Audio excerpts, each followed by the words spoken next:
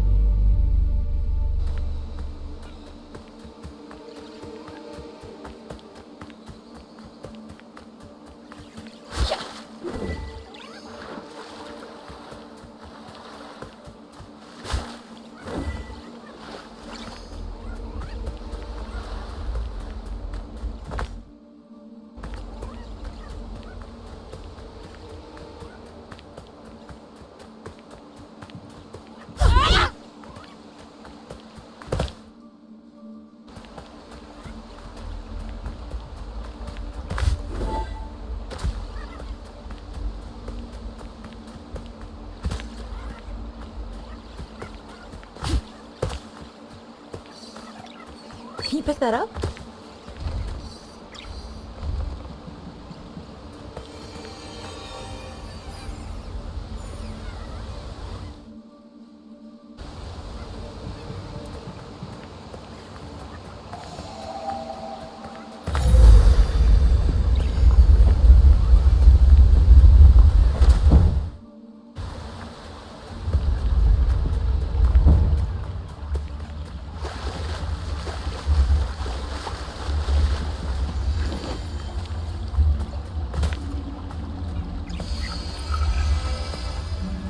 To help Taro now, but it's not safe for you here. Go with Mr. Rusu. I'll find you when Taro's free. Be careful, Kena.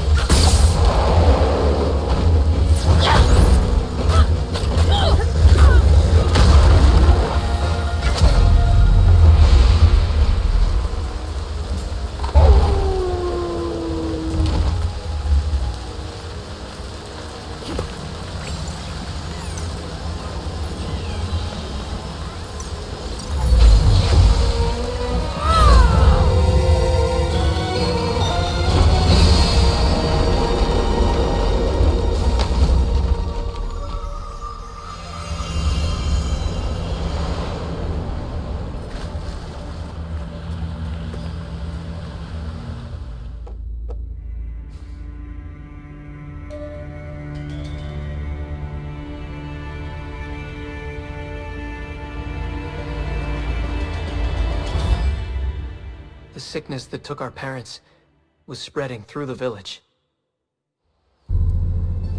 Spirits of the forest. Walk with our people. Guide them on their journey to the mountain shrine.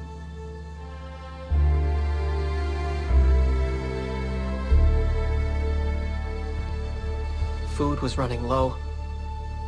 Everyone was scared. I never felt so helpless. Saiya wanted to stay, but I thought we could go to Rusu for help. I was sure he would know what to do.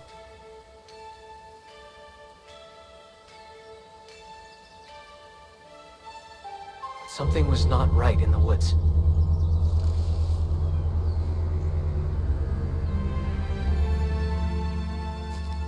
I had never seen Rusu so worried. He sent us back to the village. And I knew we were alone. I was all that Beni and Saiya had left. I had to protect them.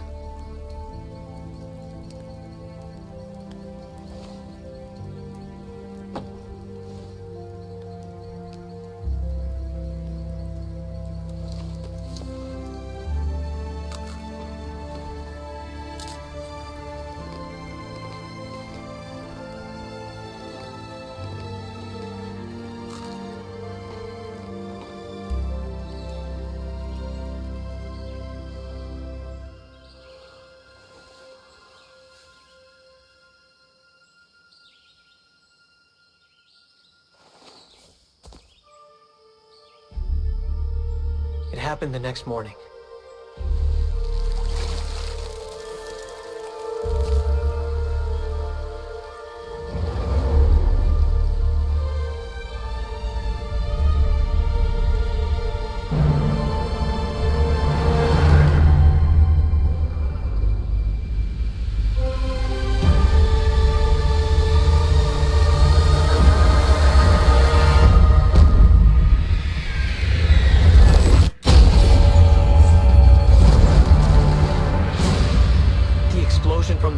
Shrine covered the land in darkness.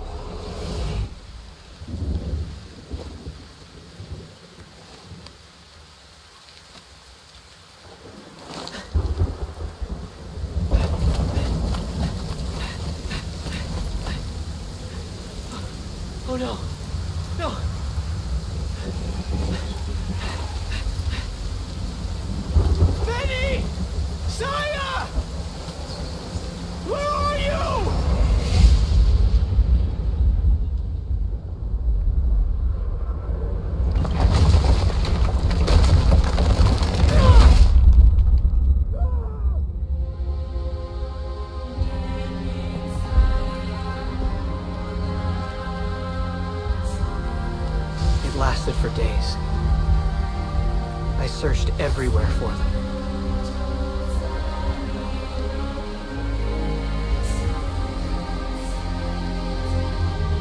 I was their older brother. I was supposed to protect them.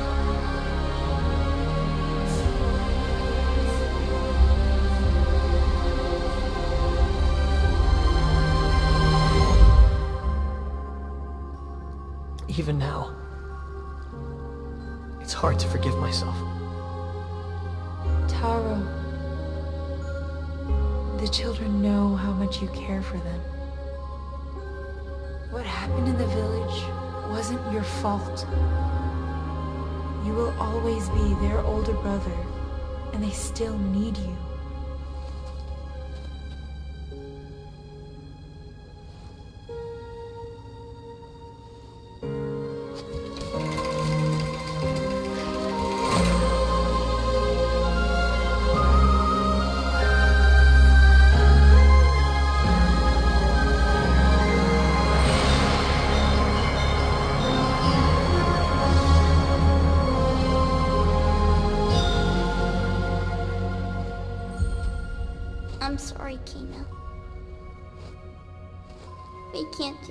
The mountain shrine.